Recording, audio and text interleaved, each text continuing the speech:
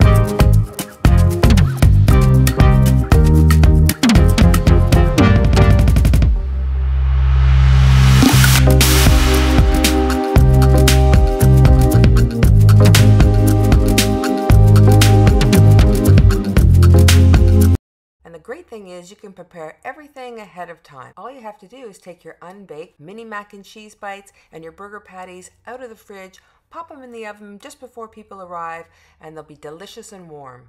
And if you liked the video, go ahead and hit that like button and let me know. And for those of you who haven't done it yet, subscribe to my channel because there are amazing recipes for you to enjoy with your whole family.